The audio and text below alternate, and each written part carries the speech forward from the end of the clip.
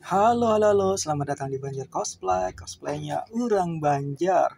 Oke, hari ini aku mau bikin pedang besar, cosplay pedang Asta ya. Seperti ini penampakannya ya. Oke, buat teman-teman yang penasaran bagaimana cara pembuatannya, tentunya intro dulu dong.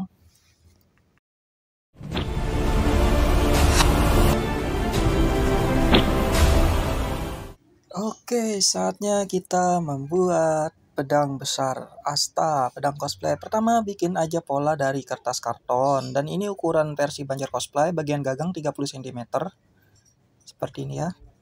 30 cm bagian gagang dan ini dari kiri ke kanan 38 cm. Oke, untuk lebar bagian sini 18 cm ya. Dan aksesoris ini panjangnya 32 cm. Oke, dan untuk panjang bilah aku 100 cm ya, bisa juga lebih ya guys, tergantung cosplayer. Jadi total keseluruhannya sekitar 130, bisa juga 150. Oke, cetak aja polanya di busa hati ketebalan 5 mm 2 lembar. Oke, ini sudah dicetak dan potong bagian ujung ya. Ya, bagian ujungnya seperti pada gambar, dipotong aja. Dan ini uh, seperti tajam pedang nantinya ya. Oke, seperti ini. Dan ini sudah dipotong guys. Oke, bikin aja lagi kayu ya. Bisa pipa, bisa juga kayu. Dan ini kayunya aku lapis busa hati ya. Supaya lebih tebal. Nah, seperti pada gambar. Tinggal dilem menggunakan lem kuning guys. Lem kuning bisa lempok. Ini busa hatinya 5 mm ya. Ya, dari subscriber ada yang nanya berapa tebalnya. Ini 5 mm. Epapom atau busa hati. Aku menggunakan sini busa hati warna putih. Bisa juga warna hitam. Oke, tinggal dilem guys.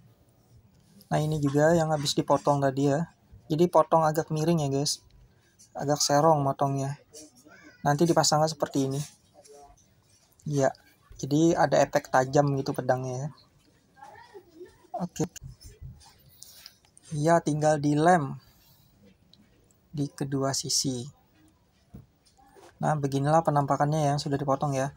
Dan ini sudah aku tempel ya aku tempel bagian kayu tengah aku lapis dengan papan triplek sedikit. Ya fungsi papan triplek itu supaya tidak gitu ya meleyot gitu ya ditekan-tekan tidak gitu ya. Tapi ya. Uh, supaya keras lah gitu ya.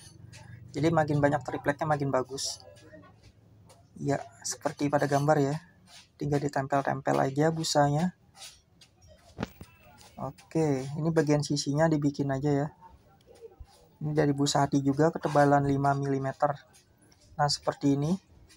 Jadi sudah dibikin ya kiri kanan semuanya bagian sisi dibikin. Nah, ini ya. Ini aku ketebalannya 2 cm ya. Lebarnya 2 cm. Ketebalan busa hatinya 5 mm. Nah, seperti ini sudah ditempel di lem. Lalu yang bagian potongan itu ya tinggal disatukan dan dirakit. Oke, seperti ini penampakannya, guys. Nah, ini juga busa hati yang sudah dipotong tadi. Ya, ini tinggal disatukan ya. Nah, seperti pada gambar. Ya, ini aku mau bikin bagian gagang pedang ya. Ini aku tutup dengan busa hati ketebalan 5 mm. Jadi ditutup kayunya ya. Dan bagian sisinya juga ditutup caranya sama ya.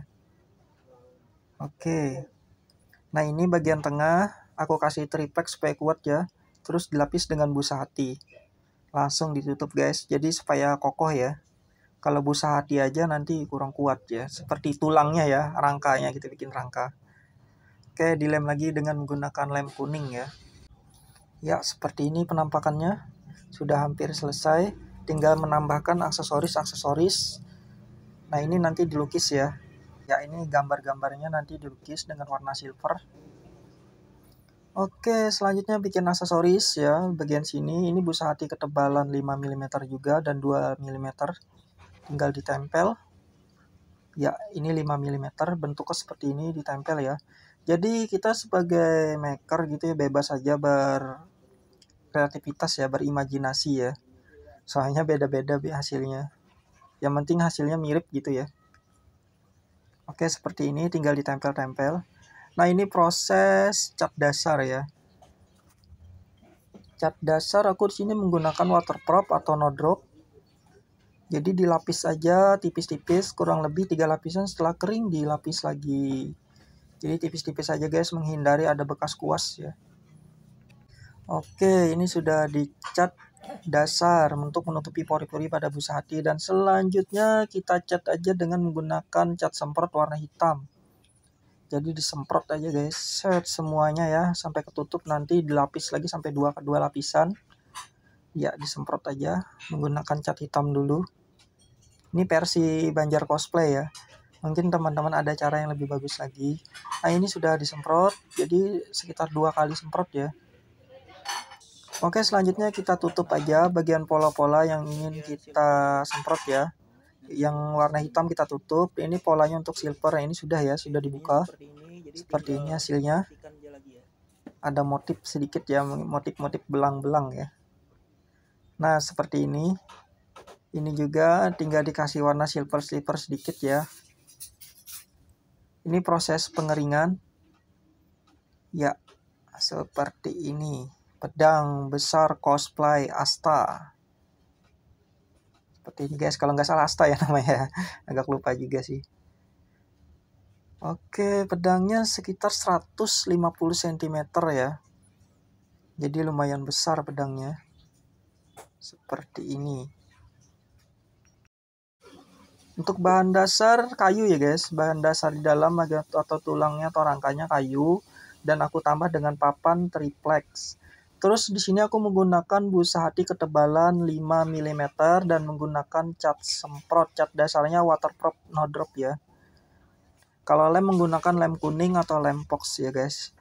Nah kira-kira seperti ini hasilnya. Oke terima kasih banget buat teman-teman ya yang sudah menonton channel Banjar Cosplay. Jangan lupa bantuannya subscribe. Sampai jumpa di video-video selanjutnya. Salam cosplay.